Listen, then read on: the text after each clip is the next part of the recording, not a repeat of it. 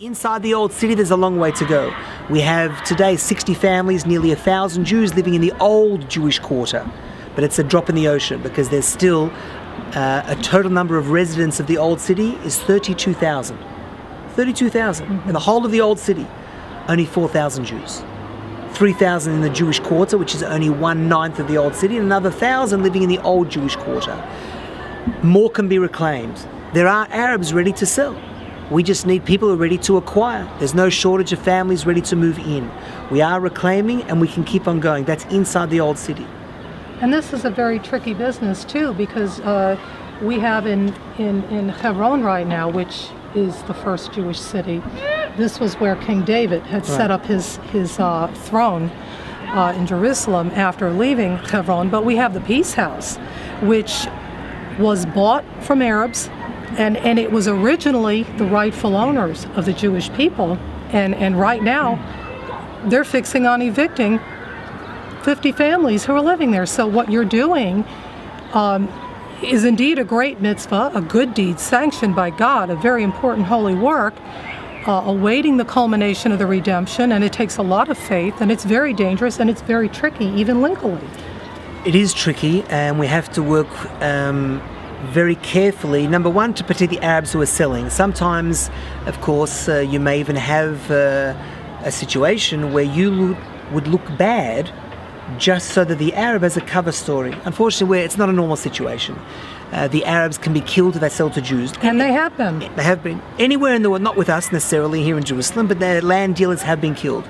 In a normal situation, throughout the whole world, any person can buy and sell here, and if an Arab sells to a Jew, he can be killed, and therefore one has to have pretend court cases, sometimes middleman, sometimes moving overseas, whatever is necessary in order to protect the Arabs who are selling. One thing is for certain, though, this belongs to us. Amen. The old, the old Yemenite neighborhood that today may be Silwan, the Arabs are living on old Jewish land. Even the Arabs still call the land Harbat Yaman. They know that the mm-hmm. land was owned by the Yemenite Jews. They don't have title to many of the places here. Sometimes we actually we're going back and we're buying an old Jewish property. So first and foremost, have to understand that this area, the Holy Basin, whether it be the old city, the city of David, the Mounts of Olives, the old Yemenite neighborhood, all belong to the Jewish people title also belongs to the Jews before they were kicked out, and we today are simply going back that When there is an Arab who is prepared to sell, we don't go door knocking, and we are adding Jewish life to this area. Today, thank God, there are families, there are kindergartens, there are centers of Jewish learning. Once again, back in the old Yemenite neighborhood. Once again, in the city of David. Amen. And That's once again, wonderful. in the old city. Of course, there's another area behind the Mount of Olives. Also, on the Mount of Olives itself, there's a Jewish neighborhood. It's a miracle. The world said that no Jew should ever live on the Mount of Olives. You may recall that Yasser Arafat Yamach said that the only Jew who he would ever allow to be in his Al Quds, in his Jerusalem when he thought it was going to be divided, were those Jews who have been here for generations. Of course, he was referring to a dead Jew. A dead Jew was allowed to be in his Al Quds. Well, today, he's dead and buried, and we have a Jewish neighborhood on top of the Mount of Olives. The world tried to stop it, United Nations tried to stop it, peace now tried to stop it.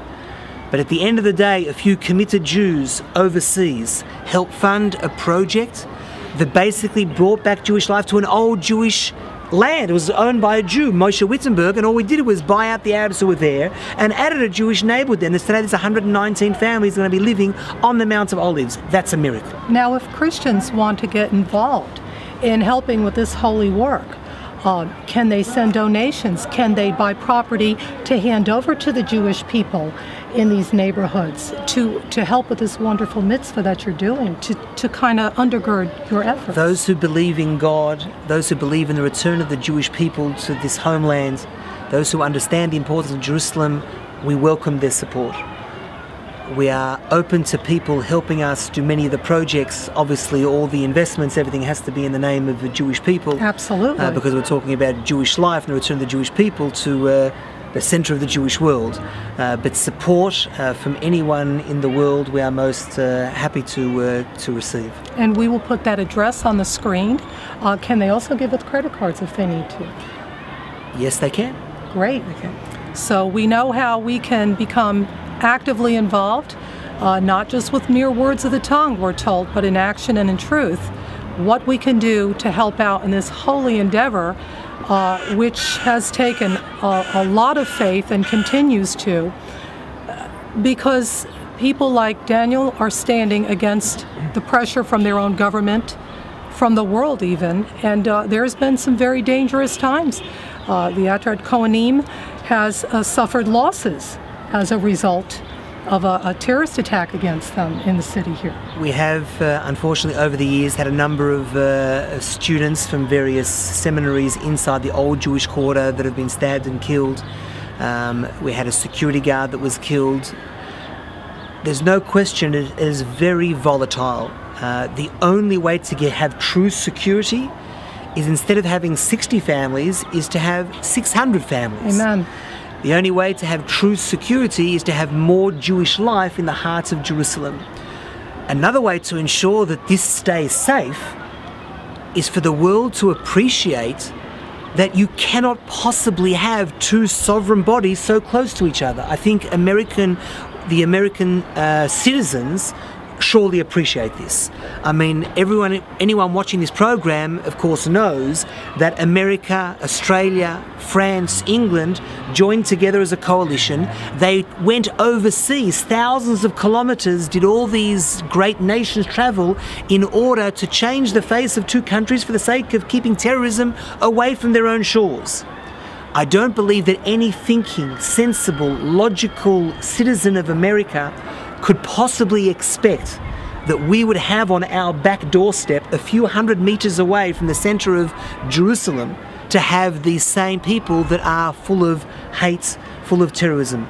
Would America honestly expect us to have Hezbollah, Hamas, Iran, any of these people having set up shop a few hundred meters away from the middle of regular Jerusalem? No, I don't believe they do. And therefore, to divide Jerusalem cannot be, will not be, is absurd.